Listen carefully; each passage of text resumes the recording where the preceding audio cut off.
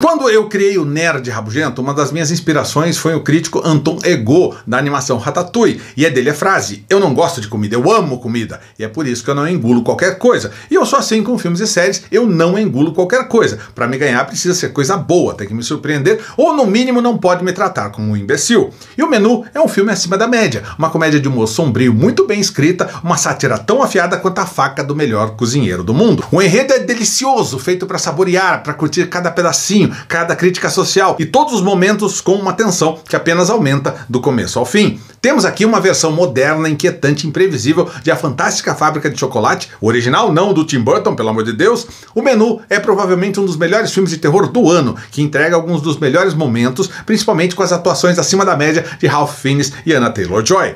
Mesmo com algumas conveniências, é tão bom que parece filme da A24.